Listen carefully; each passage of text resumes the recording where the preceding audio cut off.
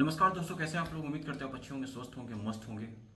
दोस्तों, जिस घड़ी का इंतज़ार था, वो अब आने वाला है और 22 जनवरी 22 जनवरी 2024 को अयोध्या में भव्य राम मंदिर का शिलान्यास होने जा रहा है और हमारे माननीय प्रधानमंत्री श्री नरेंद्र मोदी जी के द्वारा वो भगवान राम का मंदिर का प्राण प्रतिष्ठा होगा, मंदिर का उद्घाटन होगा। दोस्तों, कल पीएम मोदी गए हुए थे अयोध्या में अयोध्या में एयरपोर्ट और रेलवे स्टेशन का उन्होंने उद्घाटन किया। अमृत भारत नए ट्रेन को उन्होंने चलाया। दोस्तों जो कि आपका आनंद बिहार से अयोध्या होते हुए वो सीतामढ़ी और दरभंगा तक जाएगी।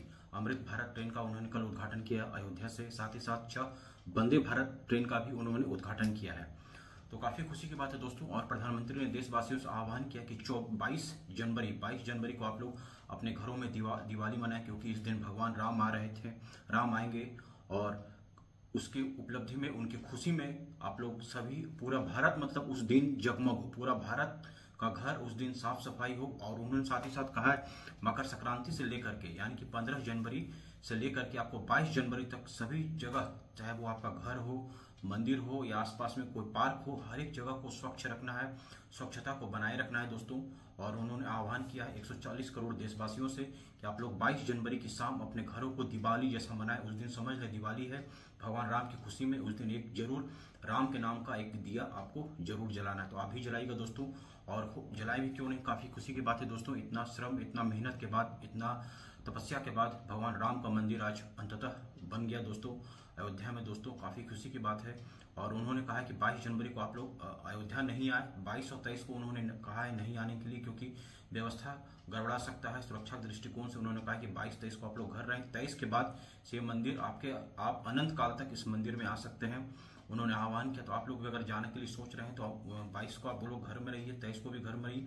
तेईस के बाद उन्होंने बोला है कि आप मंदिर अयोध्या आना चाहते हैं तो अयोध्या करके भगवान राम का आशीर्वाद ले सकते हैं। लेकिन 22 और 23 को छोड़ करके, क्योंकि सिक्योरिटी के रीजन से, क्योंकि अगर सभी लोग आ जाएँगे तो वहाँ पर दिक्कत हो सकता है, उनको भी दिक्कत होगा और मंदिर की सुरक्षा दृष्टिकोण से भी दिक्कत हो दिक्कत हो सकता है तो इस कारण से उन्होंने मना किया है।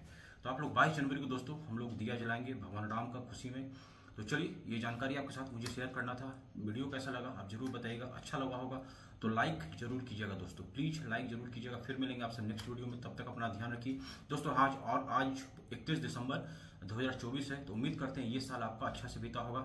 नया साल 2024 कल से शुरू हो जाएगा दोस्तों। एक जनवरी 2024 कल से शुरू हो रहा है, यानी कि कल सोमवार से एक नया साल एक जनवरी 2024 हो रहा है। उम्मीद करते हैं कि आपका नया साल भी अच्छा से बीते। जिस तरीके से ये साल आपका अच्छा से बीता, अगले साल भी आप और तरक्की करें, अपने जीवन में ऊंचाई पर रहे, आपका स्वास्थ्य ठीक हो, करियर की नई ऊंचाई पर आप पहुँचे। तो चलिए, फिर मिलते हैं आपसे नेक्स्ट वीडियो में, तब तक अपना ध्यान रखिए। जय हिंद, जय भारत।